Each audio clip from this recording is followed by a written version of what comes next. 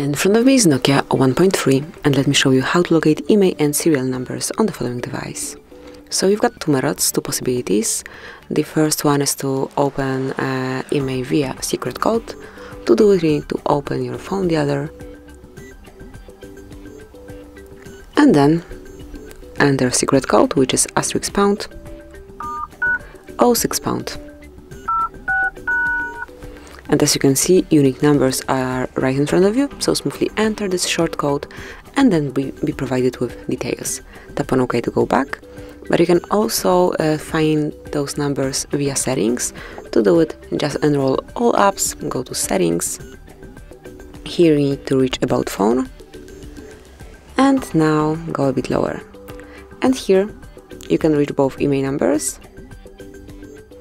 for both uh, SIM slots and if you click on model and hardware you will be able to reach serial number as well. So this is it, that would be all. Thank you for watching, please subscribe our channel and leave the thumbs up.